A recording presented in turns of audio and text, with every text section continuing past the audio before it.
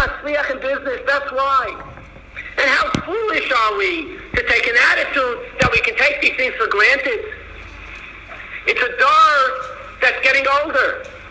The new dar has to stand on their own feet. Can we say that our dar is kedai, that we should have successful businesses? Could we say that? We have to take the attitude of Ein Ani Kedai. Rabbi Sai, take that attitude today. Because inevitably you will take the attitude of Ein today. You know when? Like a mey of Ashrim, we're going to come up to Shamayim and they're going to tell us, Reb Yid, how come you didn't learn more? I'll say, me? Why didn't you quit your business and learn all day? Me? I'm not the type to learn all day. I ain't any die. I'm not I'm going to push the years. They're going to say, Reb why didn't you have Kavanah and davening? Me, Kavanah? Look, I'm like most Yidden. Reb Yid, why didn't you get involved in tzedakah? Everyone's going to be an honest, right? Unless it's the more capable people than me. I'm not so capable. Let the tzedakah people more capable. Suddenly, everyone's going to say, Ein Ani Kedai. So Rabbeinu Shloim, He's going to say, yeah, you didn't get involved tzedakah. Why? You're not so capable as them. They're going to take out the tape recorder. How come you criticize the people who run your son's yeshiva? You're not as capable as them. How can you buy that them? Why don't you quit your job and learn all day? Amy could die. So how come a Rav said of stock and you said, ah, this is an You took such an attitude? Suddenly today you're going to say any die. You say you can't have kavanah and davening, no. So why don't you daven with tzibor that it should help your kavanah? The attitude of any die. Inevitably, each of us is going to try in court to make that excuse work. And if we want it to work, we at least have to have that attitude here.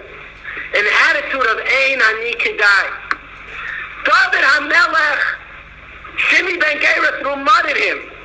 He was running away from Yerushalayim under the most unfortunate of circumstances. His son had rebelled against him.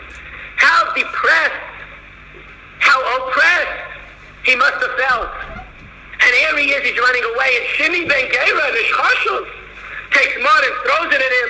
And you know what it means to call on him? In front of all the, there was a band of people stayed loyal to David.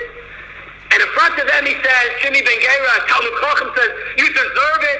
You are the violation issue like you did in your Reitzayach. He called them the worst names in the book. And David said, Hashem Omar him alone. Hashem Omar Lei Kalel. Chazal say that in the entire life of David, that was his greatest moment. But I say Shah, he was zeicha to be one of the four amudim of the Kisei HaKodesh. That was his greatest moment. We should be zeicha to work on ourselves.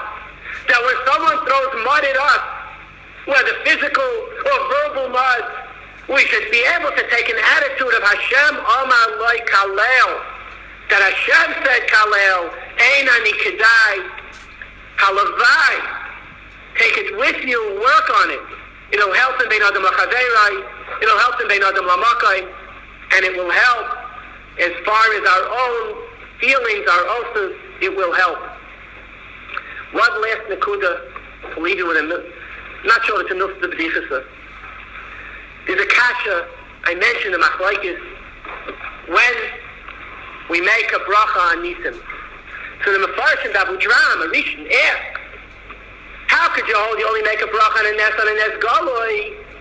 But on Purim, we say Shas Nisim. Purim, we all know, is a nes my nes galoi. So how do we make a bracha on Purim? So I heard two nice terutim. One says come out and Dabu Dram.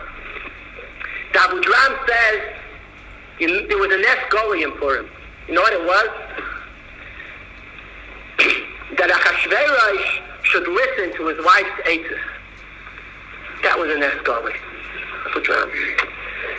I mentioned this to my wife over Shabbos. She told me she heard a teirutz. That it's a nes galoi. If anybody has a makar for this, I'd be very curious.